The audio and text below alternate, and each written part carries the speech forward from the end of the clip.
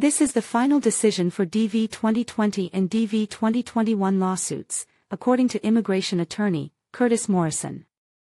Please share this video with your friends and family, make sure you subscribe this channel, and bring more people on this channel. Thanks.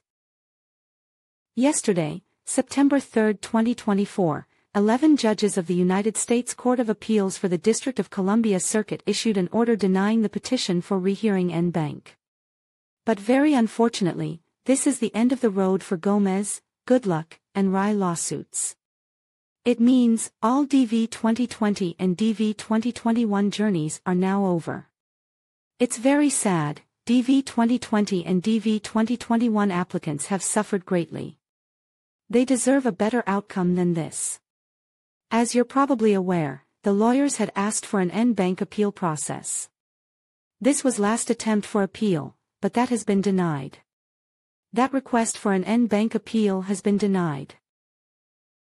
As posted by Curtis Morrison, the order says, upon consideration of appellee's petition for rehearing en banc, the supplement thereto, and the absence of a request by any member of the court for a vote, it is ordered that the petition be denied. No explanation, no more review en banc. That's just their decision. Unfortunately, there is no further legal avenue open to the DV 2020 and DV 2021 cases. The appeals court decided to favor the government's position, the end of the year is the end of the year, and it can't be extended, and the visas can't be issued after that time. It's sad to see the end of this process. So we're in a position where we have to accept the decision, because it's final. There is no further process that will be taken to appeal DV 2020 and 2021. Though about 7,000 visas were issued in late September 2020 because of the lawsuits. So that is it. Please don't forget to share this video with your friends and family. Make sure you subscribe this channel, bring more people on this channel.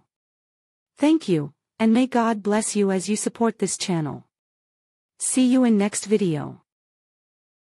Thanks for watching this video. Please subscribe for more interesting videos. God bless you.